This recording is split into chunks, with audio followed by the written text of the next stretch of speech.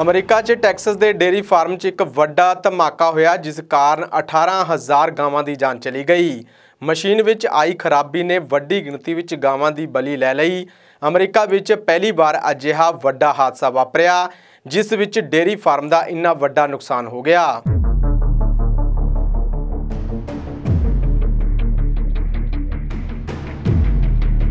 Texas ਸੂਬੇ ਦੇ Dimmitt ਸ਼ਹਿਰ ਦੇ ਸਾਊਥ ਫੋਰਕ ਡੇਰੀ ਵਿੱਚ ਮਸ਼ੀਨ ਵਿੱਚ ਦਿੱਕਤ ਆਉਣ ਕਾਰਨ ਵੱਡਾ ਧਮਾਕਾ ਹੋਇਆ, ਜਿਸ ਕਾਰਨ ਭਿਆਨਕ ਅੱਗ ਲੱਗ ਗਈ।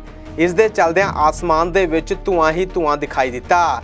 ਦੇਖਦੇ ਹੀ ਦੇਖਦੇ ਇਸ ਹਾਦਸੇ ਵਿੱਚ 18000 ਗਾਵਾਂ ਦੀ ਝੁਲਸਣ ਕਾਰਨ ਮੌਤ ਹੋ ਗਈ।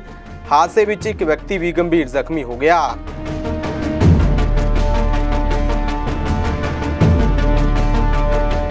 ਕੈਸਟਰੋ ਕਾਉਂਟੀ ਦੀ ਪੁਲਿਸ ਨੇ ਦੱਸਿਆ ਕਿ ਉਹਨਾਂ ਨੂੰ ਸਵੇਰੇ 7 ਵਜੇ ਘਟਨਾ ਦੀ ਸੂਚਨਾ ਮਿਲੀ। ਇਸ ਉੱਤੇ ਉਹ ਤੁਰੰਤ ਮੌਕੇ ਤੇ ਪਹੁੰਚ ਗਏ।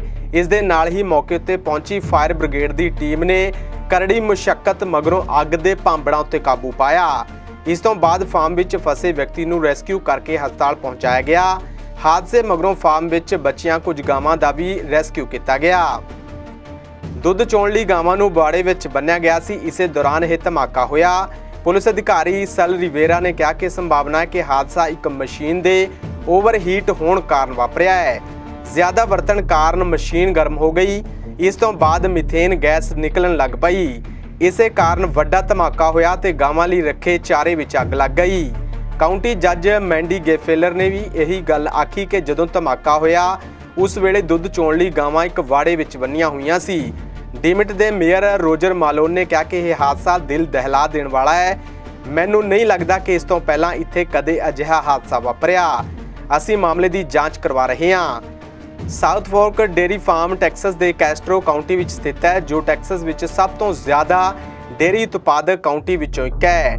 ਟੈਕਸਸ ਦੀ 2021 ਦੇ ਡੇਰੀ ਰਿਵਿਊ ਦੇ ਮੁਤਾਬਕ ਕੈਸਟਰੋ ਕਾਉਂਟੀ ਵਿੱਚ 30000 ਤੋਂ ਵੱਧ ਪਸ਼ੂ ਰੱਖੇ ਹੋਏ ਨੇ। ਉਧਰ ਟੈਕਸਸ ਦੇ ਐਨੀਮਲ ਵੈਲਫੇਅਰ ਇੰਸਟੀਚਿਊਟ ਨੇ ਕਿਹਾ ਕਿ ਇਹ ਹਾਦਸਾ ਬੇहद ਗੰਭੀਰ ਹੈ। ਅਸੀਂ ਇਸ ਉੱਤੇ ਨਜ਼ਰ ਰੱਖ ਰਹੇ ਹਾਂ। ਸਾਨੂੰ ਉਮੀਦ ਹੈ ਕਿ ਬਾਕੀ ਡੇਰੀ ਫਾਰਮ ਦੇ ਮਾਲਕ ਇਸ ਤੋਂ ਸਿੱਖਿਆ ਲੈ ਕੇ ਆਪਣੇ ਪਸ਼ੂਆਂ ਦੇ ਵਾੜਿਆਂ ਵਿੱਚ ਜ਼ਰੂਰੀ ਸੁਰੱਖਿਆ ਉਪਾਵਾਂ ਨੂੰ ਅਪਣਾਉਣਗੇ। ਚੇਤਰੇ ਕਿ ਅਮਰੀਕਾ ਵਿੱਚ ਅੱਗ ਕਾਰਨ 2013 ਤੋਂ ਲੈ ਕੇ ਹੁਣ ਤੱਕ ਲਗਭਗ 6.5 ਲੱਖ ਪਸ਼ੂਆਂ ਦੀ ਮੌਤ ਹੋ ਚੁੱਕੀ ਹੈ। ਉੱਥੇ ਹੀ 2018 ਤੋਂ 2021 ਵਿਚਾਲੇ ਲਗਭਗ 30 ਲੱਖ ਪਸ਼ੂਆਂ ਦੀ ਜਾਨ ਚਲੀ ਗਈ। ਇਸ ਤੋਂ ਇਲਾਵਾ ਟੈਕਸਸ ਵਿੱਚ ਹੀ 2016 ਚ ਆਏ ਬਰਫੀਲੇ ਤੂਫਾਨ ਦੇ ਚਲਦਿਆਂ 2 ਦਿਨ ਦੇ ਅੰਦਰ 35000 ਗਾਵਾਂ ਦੀ ਮੌਤ ਹੋ ਗਈ ਸੀ। Bureau report, Hamdard TV.